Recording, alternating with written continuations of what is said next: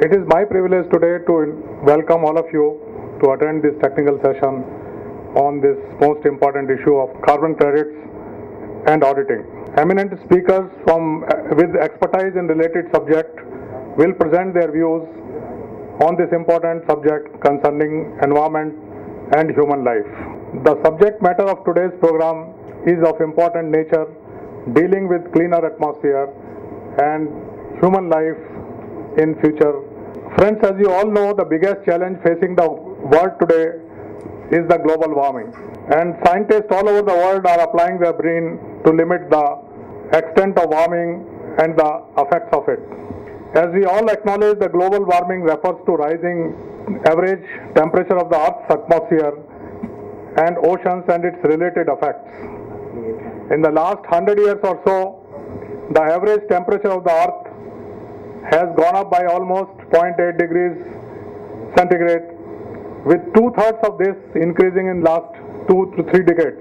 Now, warming of climate system is, this warming is taking place because of increasing concentrations of greenhouse gases caused by human activities such as deforestation and burning of fossil fuels. Carbon dioxide, the most important greenhouse gas produced by combustion of fuels, has become a global cause of panic as concentration in the Earth's atmosphere has been rising alarmingly.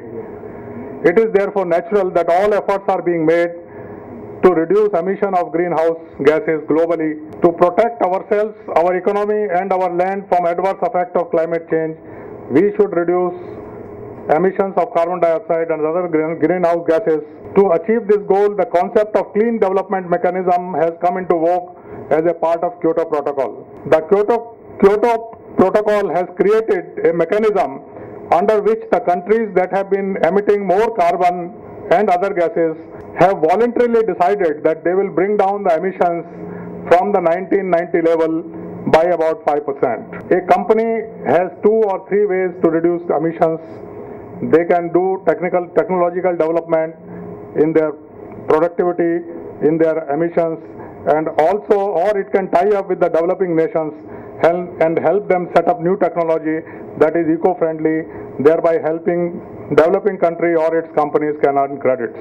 The Clean Development Mechanism is an arrangement under the Kyoto Protocol allowing industrialized countries with greenhouse gases reduction commitment to invest in emission reducing projects in the developing countries as an alternative to what is generally considered more costly emission reduction in their own countries.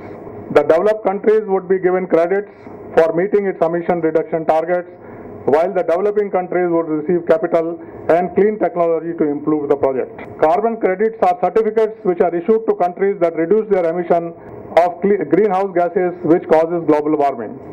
Carbon credits are measured, measured in units of certified emission reductions, each CER equal to one ton of carbon dioxide reduction.